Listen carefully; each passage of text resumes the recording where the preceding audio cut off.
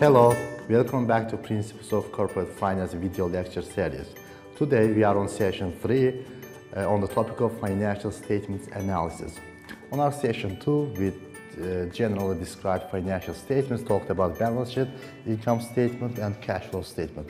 Now, as a finance manager, we need to analyze these statements and make some decisions. Uh, we, uh, as a finance manager, you must have a good working knowledge of financial statements. In accounting department, we will have accounting department will prepare statements, report statements, but as a finance department in a company, we must analyze these statements and make decisions within our company.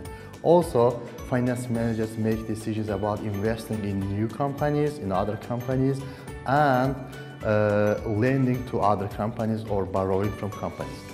So uh, to make these decisions, we have to analyze statements and uh, have get some knowledge, more as impossible knowledge from these statements. In order to make meaningful comparisons of companies of different size, uh, financial professionals use two key techniques. This is the first one is common size statements, then financial ratios. So uh, today we'll talk about these two techniques. First, common size statements. Common size financial statements is applied when companies, let's say we have two different companies, they have different size or they report statements in different currencies. For example, we cannot easily compare Toyota company with Mercedes company, Mercedes-Benz, uh, Daimler company, even they are in the same industry.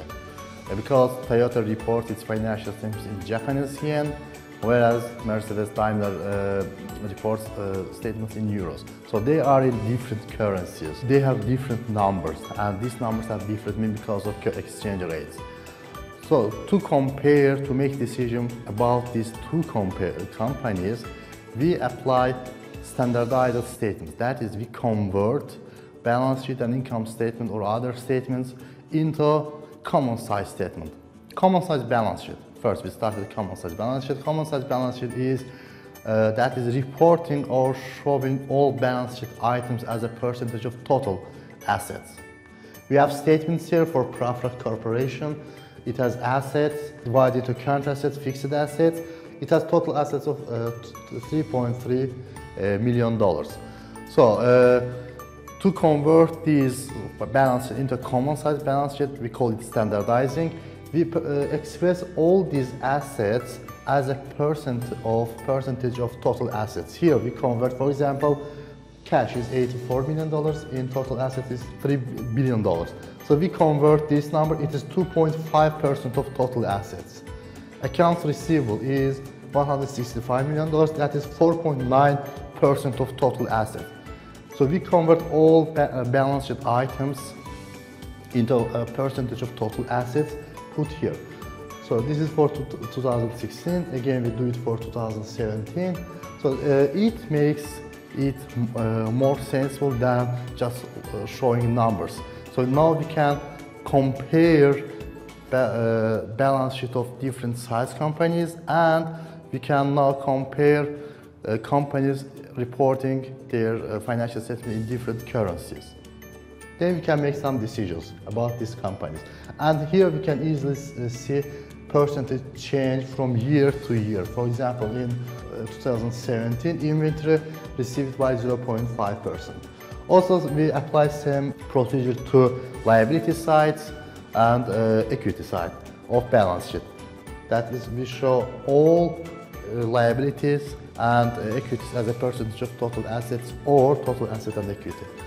We call this common size balance sheet. Applying same logic, same approach also we can generate common size income statement. In common size income statement we report all income statement item as a percentage of total sales. For example, for this company, Prufrock company in 2017, it has sales of 2.3 billion, it has costs of 1.3 billion, and others. So as I said, companies may have different size or they have reported statements in different currencies. So to compare these companies, we convert all income statement items as a percentage of total sales. Here you see it, sales is 100%, then COGS is 58.2%, depreciation, EBIT, interest, and others. The net income is 15.7% of total sales. 5.2% of sales is paid out, 10.5% uh, is uh, retained in company for new project. This approach is common size financial statements approach. So applying this statement, we can have information about statements and make some decisions. Second method in financial analysis is ratio analysis. That is uh, somehow more used uh, method. That is looking at financial statements, uh, hundreds of numbers there. Using these numbers, we make some ratios, we uh, apply mathematical operations, and try to get some information, useful information to make decisions. So a balance sheet and income statement have many numbers, as I said. Here you see many numbers, and uh, we can generate many new numbers as well. But we must make some calculations to get uh, useful information that will be helpful to make decisions. That's why we uh, categorize these ratios into four main categories. These ratios which are used to measure short-term solvency of company. We call it liquidity ratios. Other ratios to measure long-term solvency of companies. We call them financial leverage ratios, asset management ratios, profitability, and market value ratios. So uh, we also can generate new ratios other than this. But these ratios cover most of the information we may need in making financial decisions. We start with uh, liquidity ratios, short-term solvency ratios. Uh, as its name suggests, it is a liquidity ratios.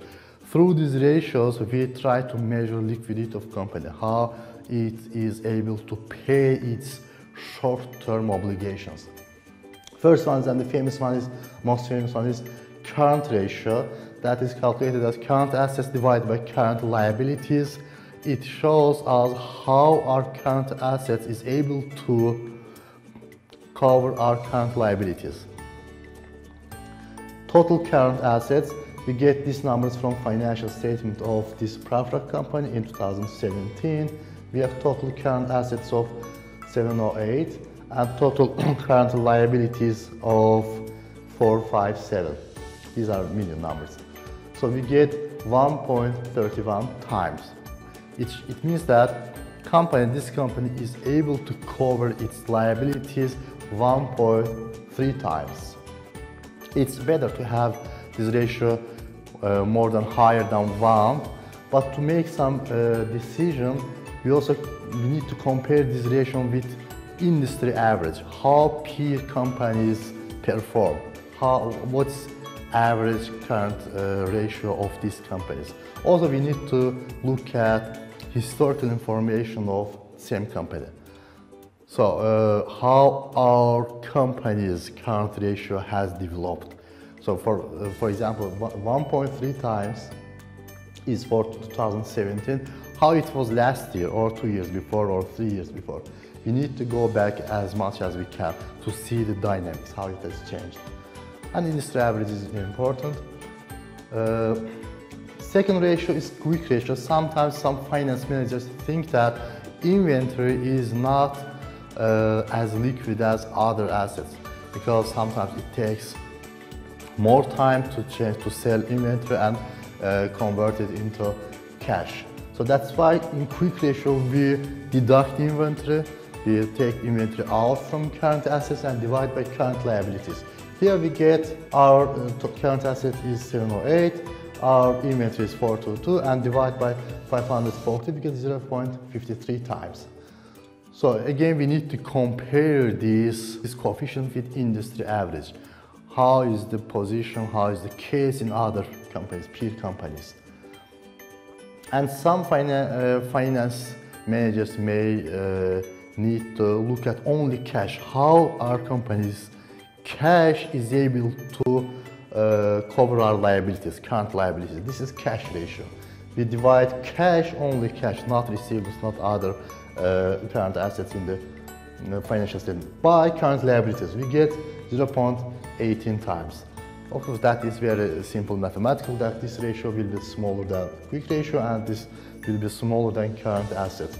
So we, get, we calculate our liquidity ratios and as I said, we compare it with industry average to uh, make some decision and to decide uh, next steps. What will we do? Will we increase our liquidity? Will we borrow in short term or what will we do? We try, we may need to try to accelerate collecting our receivables or we may need to change our inventory amount and others. Second group of ratios is uh, leverage ratios. As I said at the beginning, leverage ratios measure long-term solvency of company, how it is able to pay its long-term obligations. First one is total debt ratio. That is calculated as total debt. It is it comes from simple balance sheet equation and divided by total assets. That is 28% from uh, our previous balance sheet. To total asset is that much and uh, equity we get 28%. Uh, it, it means that for one dollar in total asset we have 28 cent in debt. Second ratio is debt to equity ratio, total debt divided by total equity. Also it shows us how much debt do we have for our one dollar in equity. That is 38.5%. Uh, it means that uh, for our $100 in equity, we have $38.5 in debt. Equity multipliers is rearrangement of this ratio, total asset divided by total equity. Total asset we can rewrite as total debt plus total equity, we get this multiplier. 1.38. Also we have times interest earned ratio. It shows us how we have covered, how we have earned for our interest uh, payments. It's calculated as EBIT divided by interest. EBIT, we know, is earnings before interest and tax. For our company, it's, it's 691 divided by 141. We get 4.9 times. It means that this company is able to cover, earn its interest payment about five times. So uh, we know this EBIT has a non-cash item of depreciation that's sales minus COGS minus depreciation and we know that this depreciation is non-cash item. We haven't really paid out this depreciation but we have subtracted here. We add back for our cash coverage ratio, EBIT, EBIT plus depreciation plus amortization if you have any, divided by interest. So here it is 6.9 times. We say that this company is able to pay its interest with its cash about seven times. Next group of ratios is asset management ratios or turnover ratios. We start with inventory turnover. Inventory turnover shows us how many times in a year our company, as a company, we have turned our inventory over. We have bought new inventory, produced it and sold. How many times in a year this cycle has been repeated. So it's calculated as COGS, cost of goods sold, divided by inventory. In our company, we collect this information from income statement, and this is 3.2 times. It means that throughout this year, our company has bought inventory, produced and sold 3, 3.2 times in a year. So if, our, if we want to know how many days did one period take, we calculate days sales in inventory. That is 361 divided by inventory turnover. That is here we uh, divide 365 by 3.2, we get 114 days. It means that it took 114 days for one inventory period. We bought inventory, produced it, and sold. Second ratio is uh, receivables ratios. Uh, first, we start with receivable turnover. The receivable turnover means uh, how, how many times in a year company has sold in credit and collected it. Uh, in session one, we said that all companies have receivables and all companies have, almost all companies have payables. That is not all company uh, buys everything on cash and sells everything in cash. All companies have uh, receivables and we are interested how many times in a year we sell in credit and collect it. receivables turnover uh, calculate as sales divided by accounts receivable. Here we get 12.3 times. It means that 12.3 times in a year, company uh, granted credit, collected, granted credit, collected. So how many days did one period take is Uh, expressed uh, as days sales in receivables or average collection period. 365 divided by receivables turnover, here we get 30 days. It means that our one receivable period is 30 days. One average collection period is 30 days. Again, we need to compare these ratios with industry average to see how we perform in the industry with, with peer companies. Uh, for example, for a company, uh, average collection periods, shortest period is better. We, need, we want to have as short as possible. But uh, again, uh, if we uh, shorten this uh, day, days we may lose new customers. We need to look at how our peer companies perform in this area. Uh, next ratio is total asset turnover. Uh, inventory and receivables are short-term current assets. Same logic we may apply to total assets. Uh, it's uh, calculated as sales divided by total assets. That's 0.64 times. It shows that uh, one dollar of our total assets has generated 64 cent in sales. Of course, it's better to have higher this uh, ratio. It's not unusual for total asset turnover to be less than one, especially if a firm has a large amount of fixed assets. It is normal for these companies. Uh, next group of ratios is profitability measures.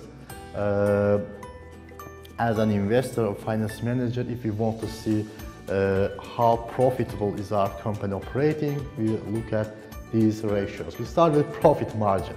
Profit margin is calculated as net income divided by sales. That is what percentage of our sales total revenues is net income. That is what part of our sales is net income. Here is 15.7%. That means that 15.7% of our total sales is net income. Next ratio is return on asset ROA. That is how much our total assets has generated net income. Here is 10.12%. Uh, so we, we compared with our peer companies and we also may want to compare with our historical performance. Next uh, ratio is return on equity. Investors uh, may want to look at how their equity has performed. That's uh, net income divided by total equity. It shows that how much our $1 tied equity has generated net income. Here is 14.01%. So of course investor wants to have higher this ratio and the company manager wants to have higher return on assets. Profit margin measures general profitability of company. EBITDA margin uh, measures operating profit of profitability of the company. That's EBITDA divided by sales. How much our sales have generated EBITDA. That's 41.8%. Next group of ratios is market value measures. Last group, uh, this is last group. The first one is market capitalization. Market capitalization shows how big is equity in terms of market value. It's calculated as stock price times number of outstanding shares. Here is $88 per share times 33 million shares outstanding, $2.9 billion. Uh, P ratio, famous ratio in financial markets, that's calculated as price per share divided by earnings per share. It shows how our company's price is related with its earnings. Or in other words, how much do you need to pay to get one dollar of this company's earnings? That's eight times uh, market to book ratio, market value of per share divided by book value per share. Market to book ratio is calculated as market value of the share divided by book value of the share. So market value may differ from book value. because market value is formed via demand and supply in the market. Here is 1.12 times. So uh, it is unusual to have higher these ratios. Market value is not be higher than, for example, five times or six times book value. There must be, uh, it gives the investors, there is some unusual information. Enterprise value, enterprise value is, as its name suggests, that, uh, that is company value uh, when, you, when you try to buy company, um, that's market capitalization, equity, total value of equity, plus market value of interest-bearing debt, total value of liability, minus cash. So higher is better, enterprise value multiple, enterprise value divided by EBITDA. So uh, that's 3.6 times. Uh, it shows how, how much company's operating income has pro pro produced enterprise value. Here is 3.6 times.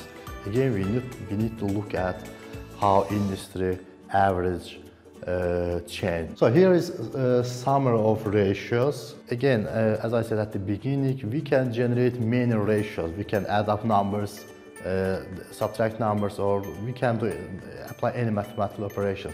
But the most important one is we need to change numbers or interpret numbers to get some information that will be useful making some decisions. So these ratios are most used the ratios that is useful making some uh, decision. Regardless of where you are, you may be equity holder, bond holder, new lender or supplier to company. So you may to look at different ratios you need. As I said, financial ratios are used to make some decisions, but ratios by themselves uh, is not enough. We need to compare them. As I said, most important one is to compare with peer companies and we need to compare with our historical data. So uh, in our profitability ratios, we had return on equity. I said that this, is important indicator for equity holders, investors. And main goal of financial management is to increase firm value. That is to increase shareholders' wealth. So then uh, this return on equity is important indicator. If we increase this indicator, it means that we increase wealth of shareholders. There are many approaches to, uh, to increase return on equity. One is DuPont identity. That is popularized by the DuPont Corporation, that was a chemical corporation. This approach seeks to uh, seeks the ways to uh, increase return on equity as dividing return, decomposing return on equity into sub uh, factors. So increasing these factors, uh, affecting these factors, we can increase return on equity. This uh, is operating efficiency, is indicated by profit margin, asset use efficiency, indicated with total asset turnover, we talked about these ratios, and financial leverage, equity multiplier. So how it is generated, return equity we know is equal to net income divided by total equity. If we multiply this with 1, mathematically we know nothing will change. So we can multiply this total assets by total assets. This equation is not changing mathematically, but we can rearrange this uh, denominator, we say we get return on asset times equity multiplier. So if we increase return on asset, or if we are able to increase equity multiplier, it means that we can increase return on equity. We can add one another uh, factor, also uh, multiplying this equation by 1, that is sales divided by sales, nothing will change mathematically. If we rearrange this, we get net income divided by sales times sales divided by total assets times total assets divided by total equity. This ratio is profit margin. This ratio is total asset turnover and the last ratio is equity multiplier. So we can say that uh, decomposing return on equity into profit margin, total asset and equity multiplier, we have ways, we see the ways how to increase return on equity. For example, if to, with increasing equity multiplier, we can increase return on equity. So equity multiplier can be increased by some borrowing or total asset turnover. If we increase total asset turnover, we can increase return on equity. It can be increased with sales or uh, increasing profit margin. We can increase uh, return on equity. Profit margin can be increased with decrease in COGS, cost of goods sold. We can rewrite this in this way. Also, there are many, uh, we can add new factors as well, but the DuPont identity is famous for with three, these three indicators. For our company return on equity, 15.7% times 0.64 times 1.39, that is about 14%. As I said, uh, ratios can be used and is widely used in financial analysis, but it has some problems. First one is there is no underlying theory, so there is no way to know which ratios are most relevant. It is up to finance manager or an analyst to decide what, what ratio to use. And benchmarking is difficult for diversified firms. So uh, actually, these benchmarks is sometimes arbitrary. We have industry average, we uh, compare with industry. Globalization and international competition makes comparisons more difficult because of difference in accounting regulation. We use accounting terms here, for example, we use sales, we use COGS. All these balance sheet items may be reported diff under different standards. So we, we can get different numbers. Firms use varying accounting procedures. That, for example, depreciation may be uh, treated under one method in one company uh, and industry average for industry companies may use other methods as well. Extraordinary or one-time events. For example, for one year we may have higher sales, but it cannot be repeated for coming years. So a better way is to look at previous years to have higher horizon to compare and to compare with industry average. It make useful information. That's all for session three. I summarized financial ratios and uh, talked about common size statements. Thank you for watching.